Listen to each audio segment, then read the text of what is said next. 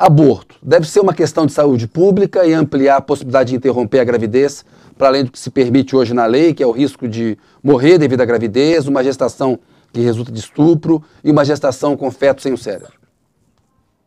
Ô, Kennedy, o que me cabe como governador é cumprir a lei existente. Eu cumprir a lei existente e, como governador, me cabe a construção de creches, a uma política de saúde pública que atenda a lei, que atenda melhor a população, fundamentalmente as mulheres, que no Rio de Janeiro tem uma situação muito grave. Né? A gente tem mortalidade infantil, a gente tem mortalidade materna em índices muito elevados. Mas, como governador, me cabe apenas cumprir a lei.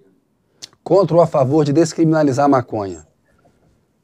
Olha, eu entendo perfeitamente que as famílias dos lugares mais pobres, é, quando querem distância desse tema, distância dessa realidade. Eu fui criado na periferia e vivi na periferia até os 40 anos. Né? Eu vi pessoas sendo assassinadas por causa de droga e foi isso que me levou à prática de esporte para ficar cada vez mais distante de uma realidade tão violenta como a que eu fui, lamentavelmente, acostumado a vivenciar na minha infância e juventude. Eu acho que esse é um tema que divide demais a sociedade. O que a gente tem que fazer é disputar a sociedade, entender esse lado de quem está sendo vítima do tráfico ou vítima da milícia e buscar uma unidade de temas e brigar pela vida desses jovens com escola de qualidade.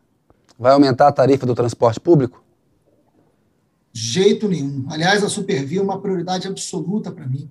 Os últimos governos, a cada oito reais que investiram no metrô, investiram um na Supervia. A Supervia tem que ser é, valorizada, tem que ser recuperada. A gente tem que ter, sim, investimento público no transporte. No mundo inteiro isso acontece, só tem que ser feito com transparência. A gente tem que fazer a linha 3 do metrô São Gonçalo Niterói para as barcas, isso é decisivo. Melhorar o transporte público é melhorar, com o poder público presente, o acesso das pessoas à cidade, a qualidade de vida. Não pode alguém que mora em Campo Grande e Santa Cruz levar três horas para conseguir chegar no centro da cidade, porque o governo não investe o que tem que investir é, no transporte público. Mas isso não é aumentando. A Supervia hoje já custa 5, levar para 7 é um absurdo, porque a gente tem é que financiar um transporte de mais qualidade.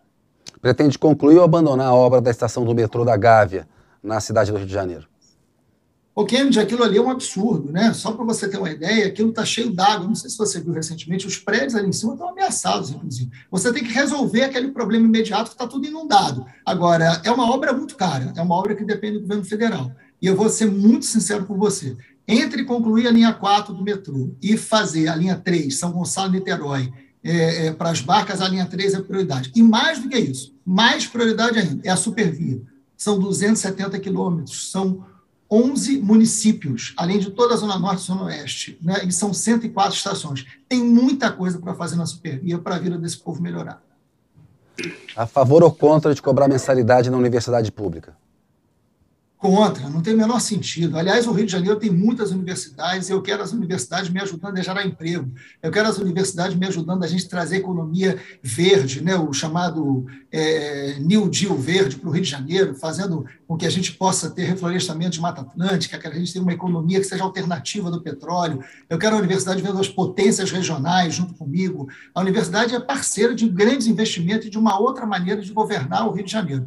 Mas não tem o menor sentido o que a gente vai ter no governo Lula é mais investimento da universidade, como nós tínhamos, e mais parceria da universidade num governo mais democrático, de mais eficiência. Defende ampliar ou dificultar a posse e o porte de armas?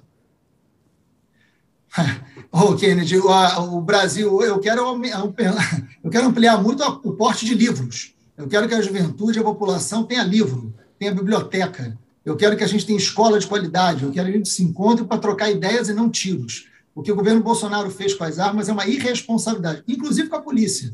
É muito mais perigoso para a polícia hoje, diante de tantas armas circulando, ser policial do que quando a gente controla armas e munições. Quanto mais armas, mais violência, mais letalidade. A gente quer livro na mão das pessoas. Contra ou a favor da privatização da Petrobras? Contra. A Petrobras pertence ao povo, tem uma história importantíssima. Aliás, o governo Bolsonaro é muito irresponsável em relação à Petrobras. Não tem cabimento o preço da gasolina, o preço do diesel, o preço do botijão de gás passou de 100 reais. Vamos falar dessa vida concreta das pessoas, né, Kennedy? Vamos criar aqui no Rio de Janeiro a Casa do Empreendedor, vamos chamar os empresários para debater, vamos gerar emprego. Agora, a Petrobras é uma parceira no Rio de Janeiro. 80%, Kennedy do petróleo do Brasil está no Rio de Janeiro e só 25% das empresas que trabalham para a Petrobras são no Rio. Isso é porque a gente não tem governador, a gente tem um governador que é fraco, que é submetido à máfia do Rio de Janeiro para interesses privados. A Petrobras é decisiva para esse reerguimento, essa virada de página do Rio. Agora, o interesse da Petrobras é público. Contra ou a favor do semipresidencialismo?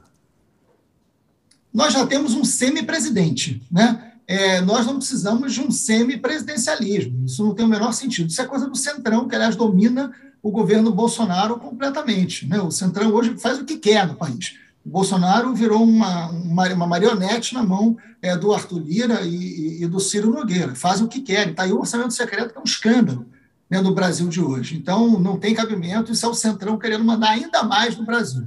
Não, não, não sou a favor. E a gente precisa de um presidente que não seja semi, seja integral, que olhe e que conheça a história do povo. Pretende morar no Palácio das Laranjeiras? Não, vou morar em casa. Vou morar aqui em casa com a minha família, vou morar com Antônia, com meus filhos, né, com, com os meus enteados. A gente está muito feliz aqui. No Palácio Laranjeiras, a gente quer abrir para visita. É belíssimo que a população possa conhecer, possa conviver, possa estar mais perto é, da gente no Palácio Laranjeiras como espaço de visitação. Freixo, aponte uma qualidade e um defeito seu. Olha, além de flamenguista, a qualidade é que eu acho que, como professor, eu fiquei 20 anos em sala de aula. E mais do que aprender a falar, Kennedy, eu aprendi a ouvir. Acho que essa é uma qualidade que precisa no Rio de Janeiro e que eu trouxe da minha profissão, do meu sonho, que foi ser professor, para a vida pública. Eu sei ouvir. O meu defeito, eu sigo a opinião da minha mulher Antônia, do meu filho João e da minha filha Isadora. Todos concordam dizendo que eu sou muito teimoso. Então, como a família é sagrada para mim, eu acho que eles têm razão. Eu prefiro dizer que eu sou insistente, mas eu vou dizer que teimosia é um defeito, sim. Por que, que o senhor quer ser governador do Rio, Freixo? Kennedy, primeiro que eu estou preparado para ser governador do Rio. Eu fui o deputado estadual mais votado do Brasil, eu fui duas vezes eleito melhor deputado federal em Brasília, eu fiz uma CPI que entrou para a história é, do Rio de Janeiro, a gente tem uma capacidade de união hoje, de uma aliança que nunca existiu no Rio de Janeiro, e uma chance de reerguer o Rio. A gente tem essa vocação, a gente tem essa capacidade é, de liderança, e eu sou filho do seu Haroldo. Meu pai foi camelô com oito anos de idade, Kennedy, e foi padeiro com 12 anos de idade. Então, eu fui forjado, fui criado no mundo do trabalho. Eu gosto de trabalhar. E é isso que a gente quer fazer. Acabar com esse apartheid educacional que tem no Rio e fazer o Rio de pé virar essa página e ser um lugar de muita felicidade e direito ao futuro.